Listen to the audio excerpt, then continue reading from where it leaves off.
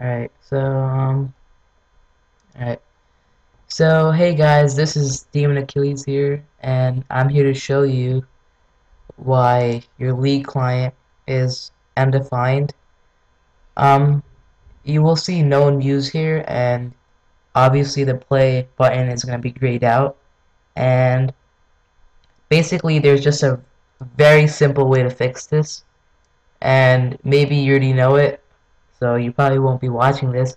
But for those of you who don't know it, all you do is type in there is no URF level. Again, there is no URF level. And you might think I'm trolling you, but I'm really not. So just click the League client and just type it and watch. You'll see the magic happen. So type in there is no URF level. Um, did I type it in wrong? Alright, I might have typed it in wrong. Alright, let me type it in again.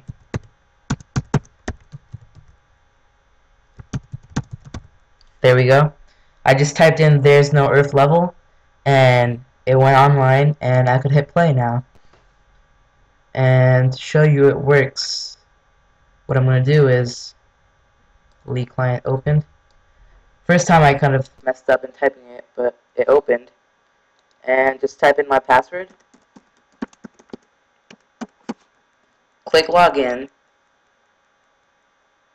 and it's successful and show you it does work. I'll wait for it to actually log in. So we are on the newest client, uh, left the game, whatever. So it is 4.3.14 and I apparently did leave a game by accident.